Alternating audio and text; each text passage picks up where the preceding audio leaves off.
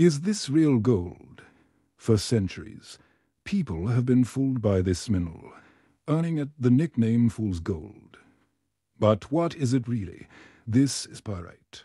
And its story is far more interesting than just a simple mix-up. Pyrite is an iron sulfide.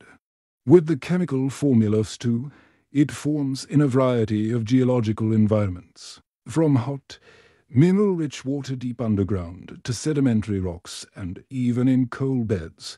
You can find it all over the world, from the mines of Spain to the mountains of Peru.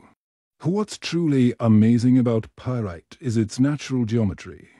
It often crystallizes into stunning, almost perfect cubes, but it also forms other cool shapes like octahedrons and pyritohedrons, which are 12-sided crystals. Well, we know it as brass-yellow.